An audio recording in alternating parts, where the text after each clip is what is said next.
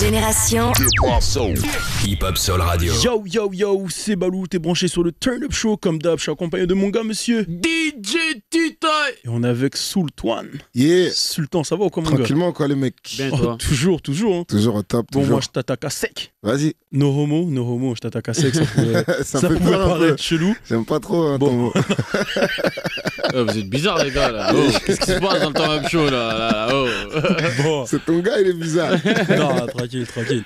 Bon, j'ai récupéré des petites phrases, euh, des petites lyrics du, du projet, je vais revenir dessus. On fait un Ok. délire comme ça. Vas-y. Bientôt la sextape sur Periscope. Non, je voulais commencer à te mettre dans une bonne ambiance, tu vois. ouais, c'est- non, c'était un délire en fait. Parce que euh, au moment où j'ai fait ce morceau, j'ai dit ça. T'es fiancé? T'es marié Ah, il a vu les bagues. Attends, viens, on commence. m'as- Non, j'ai Ça pas. tire j'ai- aujourd'hui. c'est quoi le délire Non, je t'ai dit, je réponds à Balou, après je reviens à toi. Vas-y, Comme ça, j'ai le temps de réfléchir à ce que je Vas-y. Euh, non, en fait, au moment où j'ai écrit, où j'ai dit cette phrase-là, c'était quand Periscope commençait à prendre, euh, à prendre une ampleur un peu, tu vois. Mm, mm. Et je sais pas pourquoi, je me suis dit, c'est sûr que cette application, elle va partir en couille et qu'il va y avoir des trucs bizarres, tu vois. Tellement que c'est en live, il n'y a pas de, de trucs différés ou quoi. Mm, mm, mm. Et juste après, il y a eu l'histoire de Serge Aurier. Et ensuite, je suis tombé sur un truc sur Facebook, une meuf qui passait les seins à l'air, qui s'embrouillait avec sa copine. J'ai vu, j'ai Tu vu, vois j'ai ça vu. Et par la suite, Bah il y a une autre meuf avec sa sœur, je sais pas quoi, ils faisaient Ouais, des trucs filmer sa sœur en train de faire des bails Voilà, chelous. donc, ça euh, retombe et- sur les mêmes cochonneries. Et, et voilà, tu vois. Et ça Ah, les va- gars, vous êtes bizarres. Je suis seul vrai mec en vrai ici. hein. Non, C'est parce qu'on dort sur Facebook, je crois. Ça, c'est les, les trucs que tout le monde Non, partage. mais j'avoue, franchement, fait- euh, Periscope, ça se bat en couille. Voilà. Et quand j'ai vu ça, j'ai dit ça direct dans mon son. Et par la suite, il y a eu tous ces événements. Je me suis dit, putain, je suis trop dans l'air du temps. Et voilà. C'était un délire, Je hein. me rappelle à l'époque quand t'étais petit, c'était Ustream. Ustream, l'époque, moi, les étaient beaucoup dans ça, mais Moi, c'est pas- c'était que c'était pas MSN, aussi. gros. MSN, Wiz. webcam. tu vois. on parlait. On parlait. Euh, J'avoue. Bon, sinon, tu me réponds Ah, il a pas oublié. Ouais, chérie, moi, chérie, moi. Bien. Ouais, c'est. Voilà. Félicitations. Merci. Yes, yes, yes. Beaucoup de références euh, à ton entourage, etc. dans, dans, ton, dans, dans ton projet où tu dis, euh, ouais, j'ai peut-être été mal entouré, etc. C'est par rapport à quoi que tu dis ça? C'est vraiment. Non, c'est par rapport à un vécu. Il y a eu pas mal d'événements dans ma vie euh, entre mes deux, mes deux albums. Le premier qui était sorti en 2012, je rappelle, ça fait 4 ans maintenant. Mhm. Et en, en 4 ans, je- voilà, il y a eu pas mal de, de, de, de, de hauts, de bas, pas mal d'histoires, que ce soit dans la musique ou dans ma vie privée. Donc euh, c'est ce qui m'a inspiré le plus, on va dire, au niveau de cet album-là. Ça se ressent, quoi. Ok. Et je prends une lyrics où tu dis, pourtant je suis pas un youth, je me suis fait des ennemis parce que j'avais J'avais un, mic et les mauvais amis. Ouais. Est-ce que tu penses que tu as, été victime de dommages collatéraux Bah ouais, il y a pas mal de gens qui ont pu voir, tu vois, par rapport à tout ce qui est histoire de clash. Mm, mm, mm. C'est par rapport euh, voilà, à l'en- à l'entourage, aux gens avec qui, on va dire, j'ai pu marcher, qui étaient, qui étaient dans les histoires. Mais ça, comme je peux dire souvent, c'est des choses que j'assume. Parce qu'à partir du moment où un gars, moi, est impliqué dans une histoire, bah, je le suis aussi. Mm, Tu vois, mm, donc euh, voilà, c'est des trucs que j'assume. Et c'est des trucs que, que- c'est des principes que je défends, en tout cas. Pour moi, euh, euh, t'as beau kiffer artistiquement quelqu'un, mais quand l'humain prend le, le, le, le- dessus, tu vois. Donc Mm, voilà. mm, mm, mm. Ok. Bon, t'as réagi comment la première fois que t'as vu la photo de FAB là, J'ai rigolé fort. T'as- rigolé Moi, je te cache pas comment ça s'est passé? J'étais sur Twitter Ouais. et moi, j'ai vu que les parodies d'abord. Ah, ça fait, t'as pas compris J'ai pas tout compris. J'ai dit, c'est quoi les bails là Après, j'ai remonté l'histoire, j'ai vu le truc, j'ai dit, ah ouais. Non, franchement, moi, comment ça s'est passé? Je me rappelle, j'étais dans une chicha et j'étais sur Snapchat. Ouais. Et il y a un, un mec qui m'envoie ça en privé. Je fais, hé Tu vois, je bug. Je me dis, mais c'est un montage, c'est pas possible, tu vois. Je me dis, c'est pas possible. Et ensuite, je vais sur Twitter et je vois top tweet, euh, tu vois, ça En part plus, en chez couille. vous deux, vous vous taillez tout le temps, Ouais, mais tu rigolerie vois, et tout. on n'est pas trop proches. Mm. Tu vois, justement, je vais pas te mentir, Fababy et moi, on n'est pas proches, on s'appelle pas, on Mm. se voit pas, rien, chacun fait, chacun fait sa vie, en gros, tu vois, c'est Mm, pas mon ami. Et voilà, tu vois, mais maintenant, euh, quand j'ai vu ça, quand ça m'a fait rigoler, comme tout le monde, tu vois, voilà, je vais pas rire du malheur des, des, des, des gens, mais c'est un truc qui m'a fait beaucoup rire, mais, mais après, j'essaie de me mettre à sa place aussi, tu chaud. vois, ça doit être Mais, dur à euh, vivre. Mais, mais, mais gros, je veux juste revenir sur ce que tu as dit. Tu as dit, ouais, vous c'est- pas ton pote. Non, c'est mais c'est space, comme c'est quoi Vous êtes en froid Parce que ouais. vous avez quand même Non, moi, collaboré je vais- ensemble pendant dire, pas tu vois, mal je suis d'années, tu quelqu'un vois. de franc, Bah, sois Soit franc. Baby, au début, c'était un ami, je le considérais comme un ami. Et par la suite, il y a pas mal de choses qui m'ont déplu de, vois, de, de ce qu'il a pu faire. Et ce qui a fait qu'aujourd'hui, on se calcule pas trop, que voilà, on a. Mais c'est pas un truc qu'on se voit, on va se taper dessus, tu vois. Mm, mm, mm. C'est un truc, euh, fais, fais ouais, ta je vie, je vois. fais ma vie. Ouais, le truc on se voit, on se serre la main, tu vois, voilà. euh, Déception, grosse ouais, déception. ouais, pour moi, c'est plus la déception que j'ai eue vis-à-vis de lui. Mm. Tu vois, donc voilà. Ok. T'as fait une. Et... Vas-y, vas-y. Balou, tu peux pas le laisser comme ça. Vas-y, vas-y, Il part sur la Ah, franchise, soyons moi, francs. t'inquiète Ouais, pas, vas-y, on vas-y, y a pas de galère. Ouais, vas-y, mais c'est quoi les trucs quand tu dis il a fait des trucs, Non, pour quoi? moi, c'est, tu vois, Laisser te planter dans le dos, de te faire un on truc chelou. on n'a pas les mêmes principes. Tu vois, moi, je marche, je suis beaucoup branché sur les principes. Tous les gens autour de moi, c'est des gens qui, qui ont les mêmes valeurs, plus ou moins que moi. Mm. Et pour moi, je sais pas, moi, par exemple, euh, euh, quand tu, tu te retrouves en showcase à chanter, euh, tu vois, des sons, je sais pas, vous avez pu voir des vidéos, tu vois, Ouais. des sons de, de- d'un, d'un tel ou d'un tel, sachant que ton entourage est en froid avec cette personne, Ouais. même si, même si ça te plaît pas forcément ce que, la, ce que, Ouais. ce que ton entourage euh, peut faire euh, au niveau de ça, tu vois, t'es- t'es- en gros, t'as rien demandé, tu t'es Mm. retrouvé dans l'histoire, Mm. tu peux ne pas être d'accord avec ton pote, mais t'es obligé de prendre parti. Ouais, t'es obligé de prendre parti. tu prends quoi. parti, voilà, t'assumes, c'est ton pote, tu vois, Ouais. malgré tout, cette personne, euh, elle t'a apporté quelque chose dans ta carrière, et ça, Mm. tu peux pas dire le contraire. Donc, à partir de là, t'es es obligé de- de- d'avoir un petit recul. C'est- Je te dis pas d'insulter, de clasher, non. Ah, Mais ouais, je voilà, vois. tu vois, t'as des principes, frère. T'es t'es Donc en, homme. gros, donc en gros là c'est le truc, euh, vas-y en gros lui, vas-y lui il a roulé sa bosse, il a fait son truc sans vraiment s'impliquer. Ouais, tu peux Et pas. vas-y, Mais il a fait pas le mec, vas-y, je Non, m'en fous, moi je dis pas qu'il faut s'impliquer. Je suis, Mm, mm, je suis pas pour le clash, Ouais, je suis pas pour les Pas histoires. impliqué mais comme Mais t'as dit t'es obligé de t'as- prendre tu- parti. Voilà, tu prends parti un petit peu, tu vois, au minimum. Je, je lui demande le minimum, tu vois. Et quand tu, tu, tu fais pas ça, bah voilà, pour moi, t'as pas de principe, frère. En gros c'est un mini retournement de. Voilà, c'est voilà. Pour moi, c'est un retournement de veste. Et moi, j'ai rien à voir dans l'histoire. Regardez, nanana. Mm. Mais on sait que t'as rien à voir. On le Mm. sait, t'as pas besoin de le Mm. dire. Mais Mm. quand même, tu vois, va pas te griller à, à chantonner des sons de, de, de, de gens qui te considèrent pas du tout. Mm. Et je lui, ai- je lui avais fait les, les reproches, tu vois, à l'époque. Et on a pu et quand la photo elle est sortie, on a vu qui a partagé la photo, tu vois. Donc euh, Ouais. au final, je lui dis bah alors, c'est, je croyais que la personne elle t'appréciait, qu'il y avait rien. Bah voilà, tu vois bien, tu vois. Donc voilà. Yes. On va parler de l'interlude. Ouais, Donc, euh, t'as fait un délire sur les Comores, etc.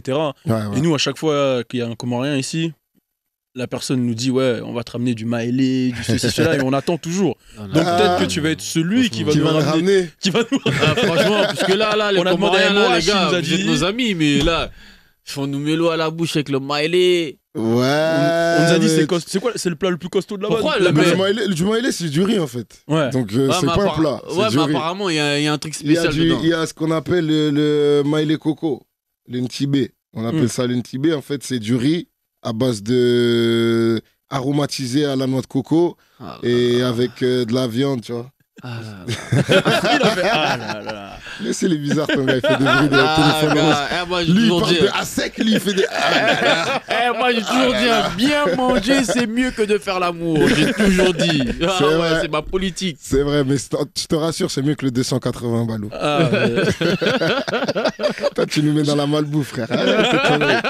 Arrête tes conneries. et, et comment t'es accueilli quand t'arrives là-bas? Comment Franchement, c'est un truc de fou. Hmm. À chaque fois que j'arrive dans mon village, je suis bien reçu. Il y a comme si, en fait, ça, ça me met mal à l'aise un peu, limite, parce que ils me considèrent plus que ce que je, je ne suis en, ré- en réalité, tu vois. Hmm, hmm. Mais et j'ai pu constater la dernière fois, par exemple, quand je suis allé au Bled, c'était pour le clip Je viens d'en bas, et j'ai pu constater que que ils attendaient beaucoup de moi. Et c'est un truc qui met une pression et ça me donne un objectif aussi. Donc euh, donc voilà. Il y a Manon qui travaille ici à la Génération Ouais. qui demande ça veut dire quoi Boussoulou toi? Boussoulou, toi Boussoulou, toi, en fait, mon prénom, Sultan, en comorien avec l'accent, ça donne Sultan. Mhm. Et quand les Comoriens comprennent, quand on m'appelle, on me dit Boussoulou, Boussoulou, toi. C'est comme si on me dit Eh, Su- eh, Sultan. Ok. C'est tout, tout simplement. Ok, tout simple Voilà. en fait. Voilà. Alright. Donc on va enchaîner avec un concept. Bon, c'est Parlons album. Yes. Et après, je te laisse entre les mains de Digitale. Il a les JDR pour toi. Tu vas comprendre après. Donc euh, l'ambiance en studio avec Sultan. Ambiance en studio, moi, c'est c'est vachement le travail. C'est-à-dire, en général, quand j'emmène des potes à moi en studio, ils s'ennuient à mort. Mhm. Ils n'arrivent pas à suivre euh, toute la séance parce que je suis dans mon coin, je suis en train d'écouter la, la prod en boucle, en boucle, je suis en train d'écrire, je suis en train de me prendre la tête, donc euh, j'ai pas de temps pour, euh, pour mes amis, c'est pas festif du tout. Moi, en studio, comme on. Tu vois, les, gens, ils ont un cliché des Ouais, trucs en de rappeur en ouais. studio. euh, Je pense qu'ils ont vu le film Biggie, voilà, euh, ça des et tout. meufs, ça filme, ça tease. Non, moi, je suis pas dans ce délire-là parce que j'ai essayé hein, ce concept-là. Je me suis dit, peut-être ça allait pas. m'inspirer. Non, ça marche pas. Je suis, je suis trop distrait, j'arrive pas à travailler, moi. J'ai besoin d'être dans ma bulle, tu vois.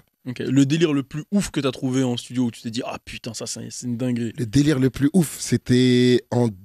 Là, je te parle d'un truc, c'était en 2007-2006. Ouais. À l'ancienne, je faisais partie d'un groupe qui s'appelait Holster. Mhm. Et euh, et il y avait Scorp déjà à l'époque. Et Scorp, il avait trouvé une phase B. Le truc, il faisait un peu un délire country, tu vois. Mm, mm. Et il était 5h46 du matin. Et je me rappelle exactement parce que le morceau, 5h46, le morceau on hein. l'avait appelé 5h46. Ok. Tu vois, tellement qu'on était dans un délire. Et on a fait un son. C'était vraiment un, un- un concept. Et pour moi, c'était le truc le plus ouf qui, qui m'est arrivé en studio. Il est toujours sur le net ce son. Euh, je sais pas s'il est sur le net. les, gens qui regardent l'interview, allez chercher le ouais, 5h46 5h là. chercher, je sais pas si vous allez le trouver. mais le délire, vraiment, tu vois, on, était, en on était en train de s'endormir. Hein. C'était en étant en studio, Scorp, il, il faisait tourner des phases B. Et d'un coup, on a entendu le truc, on a trouvé un délire de ouf dessus. Et c'était, on va dire, c'était le, le- le- la plus grande magie que j'ai pu avoir en studio, c'était ça, à Ok. 5h46. La dernière question avant de te laisser entre les mains de DJ Titaï. Si tu devais, si le vinyle revenait, etc., et que tu devais enlever un morceau de cet album, ça serait lequel? Mmh. T'as- T'es dangereux. si je devais enlever un morceau de cet album, je pense que. Attends, laisse-moi réfléchir. Là, faut pas que je me trompe. Ne pas. Faut vraiment pas que je me trompe. Non, je crois que ce serait. Ouais, le morceau que j'aime le moins, on va dire. Donc, euh, euh, ce serait Parti de rien. Ok. Ouais, Parti de rien, le track 2. Parce que, en fait, c'est l'un des morceaux les plus vieux que j'ai fait de l'album et que je suis plus trop dans ce Mhm. délire-là. Donc, voilà. Ah, c'est vrai qu'en général, les artistes, quand ça devient vieux, après, bah, à Ouais, il y a plein de morceaux que j'ai zappés, tu vois, j'ai eu pas mal de problèmes, tu vois, comme j'ai pu dire dans cet album, tu vois, que ce soit personnel ou artistique.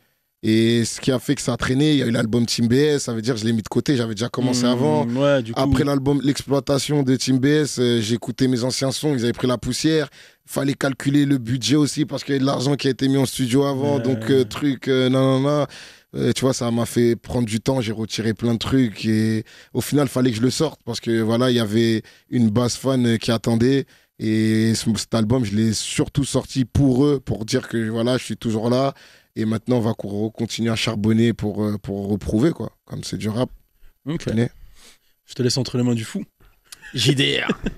T'as déjà entendu parler des JDR Non, Alors, je te présente cette rubrique. JDR, c'est Journal de la rue. ok. Ça veut dire que tu connais ces petits bras, les bruits de couloir, Ouais, ça, ouais. les petits commentaires, les gens tu sais qui sont Ouais, bien dehors, sûr, tu vois, bien qui sûr, donnent leur avis. Premier JDR. Alors apparemment, t'aimes tellement les meufs, bon là maintenant t'es marié, hein, tu vois, tranquille, donc respect. Mais t'aimes tellement les meufs qu'un jour tu t'es déjà mangé un guet-apens à cause de ça. C'est-à-dire que t'as eu une histoire et les Ah mecs ouais pour t'attirer ils se sont dit quoi? Eh vas-y lui On pour l'attraper, bah tu sais quoi, si on va lui envoyer une meuf, bah t'es tombé dans le Pas du tout, c'est faux. JDR. Voilà, je suis en tac au tac. hein. Il Ouais. n'y a pas de langue de bois, rien, c'est faux. Jamais ça m'est arrivé, ça. Ok. Deuxième JDR, apparemment les clashs ils ont affecté tes ventes. Genre par rapport à ta carrière et tout. Franchement, je pense pas du tout. hein. Je pense Non. que avec ou sans, j'aurais fait la même chose. Surtout que j'en ressors pas forcément perdant de ces clashs-là.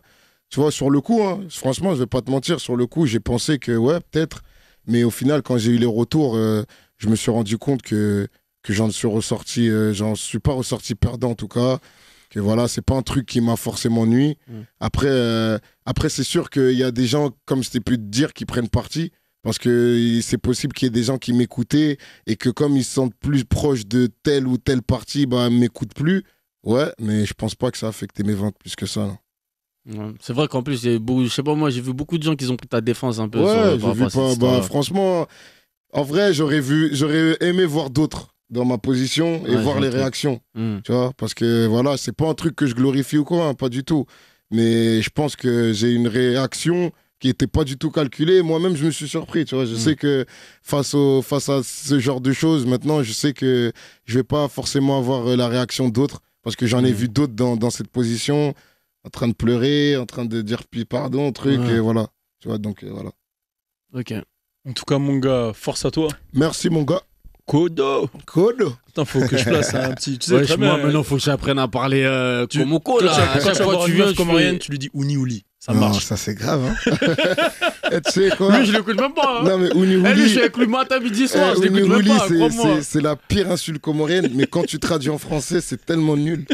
C'est un truc de ouf. C'est c'est quoi traduit En gros, ça veut dire mange ta mère. Ouais, c'est ça. Moi, je t'emmerde. Ounihuli. Mais ça, tu dis ça, c'est pire que fils de pute. Je te jure. Genre, c'est un au truc bled, de tu ouf. vas dire Ounihuli. Ah, Hein, hein, c'est hein, la hein. guerre, frère. C'est Ah, pire que si tu ah, dis euh, un daron fils de pute, tu vois. Ah, c'est un truc de ouf. Et toi, tu veux que j'aille dire ça à une fille Ouah. Je pensais qu'on était ensemble, frérot. Ah, moi, je t'emmerde, ça se trouve, elle pratique, tu sais pas. Eh, des censure, censure, censure. lui. Censure, Je savais censure, que t'étais Ah, censure. loin. ouais, censure. je rigole, je rigole. Non, Eh, Balou, Balou. Je suis pas dans ça, je suis pas dans ce genre de truc. Jamais, jamais. Chez lui, dans dans les bails de pied, Les trésors de cartomanie. Cheesecake. Oh scatophile. putain, jamais, jamais. Je retire ce que j'ai dit, putain, je vais couper ce passage. Bon, force à toi, mon gars. Force à toi, Merci, mon gars, ça bouge pas. Peace. I-